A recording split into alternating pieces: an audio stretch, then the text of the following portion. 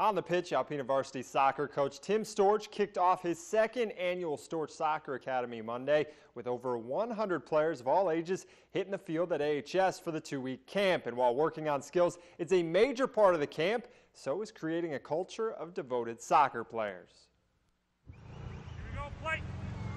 It's beginning to become ingrained in them that soccer is more than just something they do either during their fall boys season or their spring girl season and uh, uh, that's the ingredient to success. Storch's camp focuses on new skills each day through different circuits to get players back into soccer.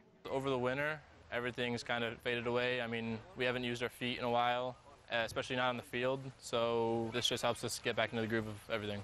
A lot of people haven't been doing as much over the summer, and it's a good way to just sort of get back into the swing of soccer.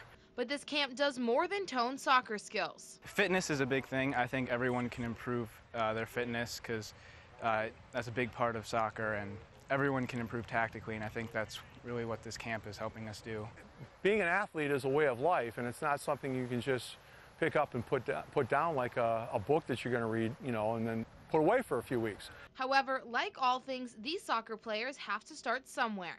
It's like a house, you know, you can't build a house without a good foundation. And the foundation of a high school sport is their youth programs. In Alpena, Shannon McGrattan, WBKB Sports.